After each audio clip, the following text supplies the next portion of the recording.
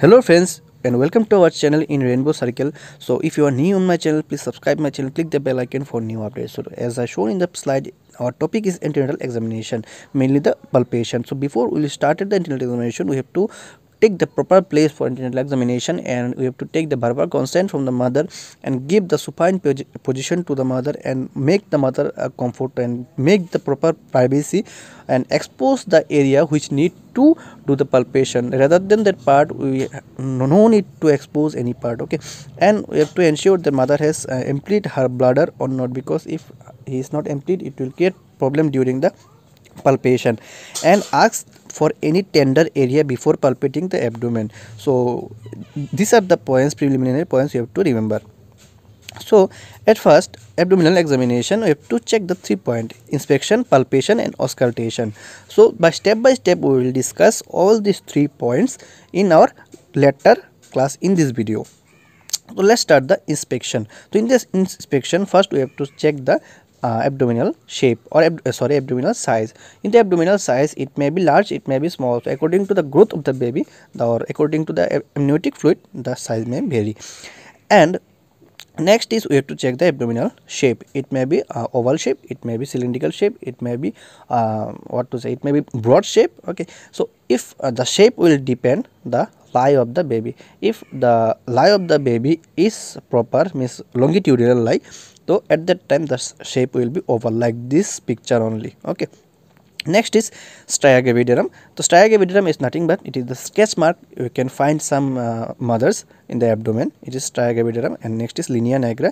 It is the black jo black color of the abdomen or sometimes deep uh, deep black color, black color you can see in the abdomen.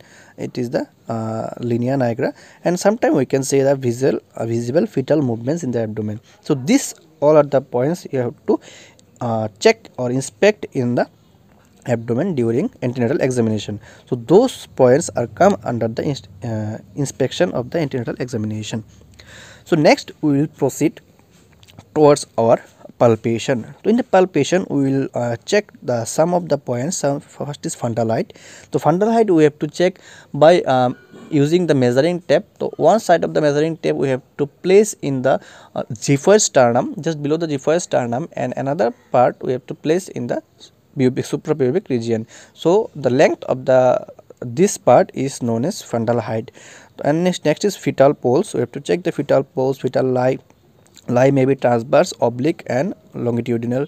Presentation cephalic maybe it may be cephalic it may be breech attitude we can check and all other parts mentioned here fetal movements uh, like a volume we have to check one by one okay? So uh, without uh, losing time we will directly go to the first point okay? First is the uh, abdominal examination. First point is uh, measuring the fundal height. As i told that fundal height have to measure by uh, with the help of measuring tape one part of the measuring tape we have to place just below the xiphoid sternum and another place we have to place in the suprapubic region. So the diameter is known as the fundal height okay?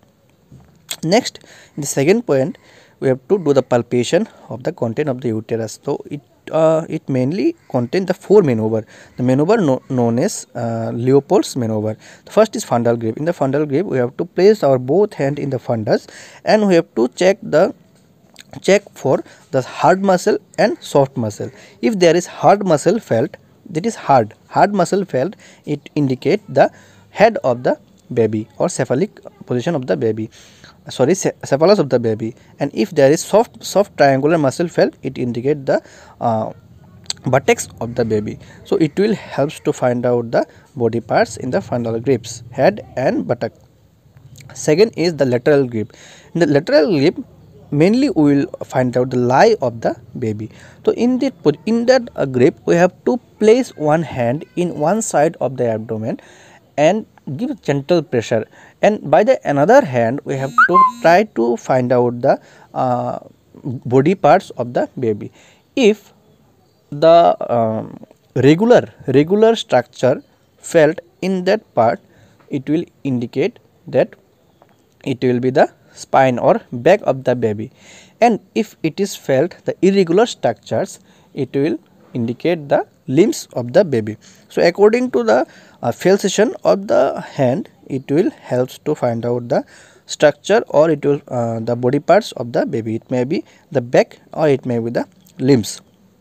So according if the uh, body parts if the lie is longitudinal means it will uh, normal then only it will felt like this. This one side is back and another side we can felt the uh, limbs. And if it is transverse lie or oblique lie in that condition you may not find this kind of uh, findings because in in this condition the baby's position will alter. So it is the uh, abnormal presentation. We are mainly doing the normal palpation. So mostly you will find the normal uh, normal position of the baby. It may be um, cephalic it may be sometime it may be breech also. Okay. So this is the lateral grip. So next uh, we will uh, proceed to the Pawlik grip. Okay. So let's start the Pawlik grip. Uh, the Pawlik grip is also known as first pelvic grip. So in that we have to place our thumb and middle fingers of the right hand wide apart of the suprapubic area to determine the presenting part the presenting part is nothing but how the baby will come from the mother womb. Okay. Or through the mother vagina. How the what is the uh, first place? It may be head it may be back. Okay. It may be buttock. So by the presenting part if you felt that uh, there is hard mass felt in that area it indicate the presenting part is head means cephalus and if there is soft mass felt in that area it indicates the uh, buttocks or breech of the baby. So mainly it will helps to find out the presentation. In the pelvic grip or first pelvic grip it will helps to find out the presentation of the baby or fetus okay? Next we will proceed to the deep pelvic grip in the deep pelvic grip we have to uh, know the attitude of the fetus. So what is the attitude the attitude is nothing but attitude is the prominence of the baby. Okay. It may be in in this uh, as shown in the picture we have to place the two hand in the two side of the abdomen and we have to uh, take the two hands downwards of the baby uh, downwards to the abdomen. Okay. So if right hand fell suppose if right hand felt first prominence or hard structure in the right side okay sorry if right hand felt the prominence in the left side of the mother it will indicate that uh, thus um, baby's head will flexed well. If the back is in the left side of the mother. Okay. I again want to uh, tell this line that if the baby's head is felt in the right side of the examiner okay and by the right hand by the examiner and if the baby's back is in the right left side of the abdomen of the mother. At that time we can suggest that baby's head is well flexed okay?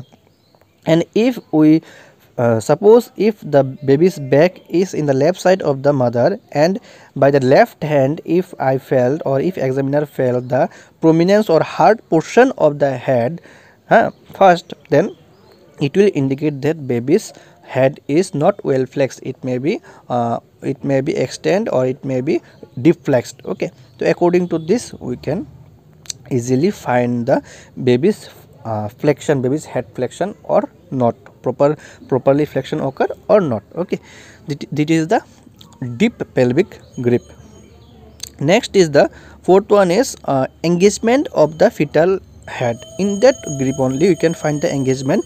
So in the engagement we just join our two hand in the suprapubic area as, I shown in the picture previous picture. So if there is if there is both hands meet together that it showed that baby will engaged. And if there is no uh, hand are not meet together that indicates that baby will not engaged. Next is will auscultation so in the auscultation we just place our uh, stethoscope in the uh, back of the baby and we will count the heart rate. The heart normal heart rate is 110 to 160 beats per minute. So this is all about the examination. If you find difficulty please message in my inbox and do like to share and subscribe my channel and support me continuously. Thank you